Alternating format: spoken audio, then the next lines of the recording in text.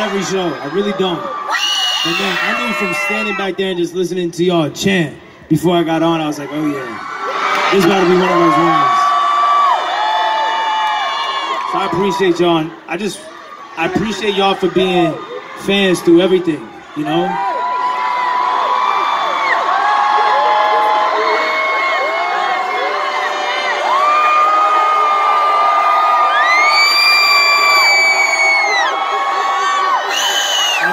Let y'all know that I got a lot of respect for y'all at the end of the day because oh, y'all are living in your life, right? And y'all don't know what's going on behind the scenes and shit. And so the fact that y'all have stayed fans through everything, I have a lot of respect for y'all. Y'all didn't get swayed by stupid shit. Y'all didn't fucking jump shit. Y'all didn't let peer pressure, bozo clown shit fuck anything up. So I got a lot of respect for y'all. Shout out to the broad too. Thank you. Thank you.